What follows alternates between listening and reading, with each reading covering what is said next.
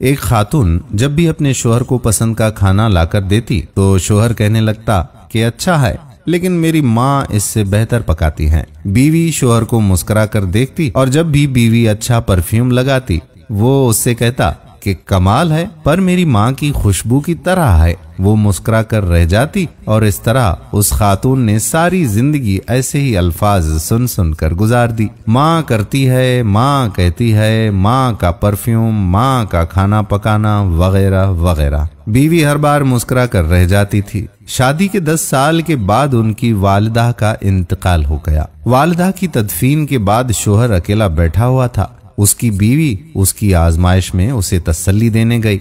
तो उसने उससे कहा कि अब तुम्हारा खाना पकाना मेरी माँ के जैसा हो गया है और तुम्हारी बातें मेरी माँ की तरह हैं और तुम्हारी हँसी और तुम्हारी खुशी भी मेरी माँ के जैसी हो गई है। बीवी मुस्कुरा कर बोली कि वो कैसे? शोहर ने कहा कि मैंने तुमसे सताईस साल की उम्र में शादी की थी और हमारी शादी को दस साल हो चुके हैं और अब तुम मेरी माँ जैसी सोच रखने लगी हो। बीवी कहने लगी कि साहब, आप रियाजी के प्रोफेसर हैं, फिर भी आपका हिसाब गलत। शोहर ने कहा कि वो कैसे? बीवी कहने लगी कि मैं जब तक ज़िंदा हूँ, आपकी माँ के बराबर नहीं बन सकती। उनके तिरपन साल मेरे दस साल के बराबर नहीं हो सकते। और जिसके कदमों के नीचे जन्नत हो, मैं उनके बराबर भला कैसे हो सकती हूँ?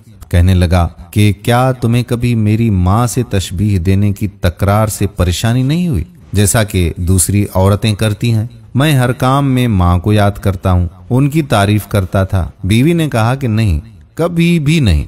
बल्कि मामला इसके बरक्स है। खावन ने पूछा कि वो कौन सी बातें हैं जो तुम तमन्ना करती रही और मैं तुमसे पूछ ना सका। बीवी ने कहा कि जब भी आप अपनी माँ की बात करते और मेरा मुआजना उनसे करते थे, मैं कहती थी कि अय मेरे अल्लाह, मेरे बेटे के दिल में मेरी मोहब्बत वैसी ही डाल दे, जिस तरह तूने उसकी दादी की मोहब्बत इसके बाप के दिल में डाल दी है। क्योंकि आप अपनी वालदा से मोहब्बत तमाम हदों से बढ़कर करते हैं। और मैं भी यही चाहती हूँ कि मेरा बेटा भी मुझसे वैसी ही मोहब्बत करे, जैसी आप अपनी वालदा से करते हैं। और मेरे सरताज, मुझे आप पर फख्र होता था, क्योंकि आपका बेटा आप पर जाएगा। अये मेरे अल्लाह, हमें वालदेन की रजा हासिल करने वालों में शामिल फरमा दे। आमीन, सुम्मा आमीन। दोस्तों, अगर आज की बहू ये बात और ये गुर सीख ले तो बुढ़ापे में पुरसकून रहेगी। आज किसी के बेटे पर कब्जा जमाने की कोशिश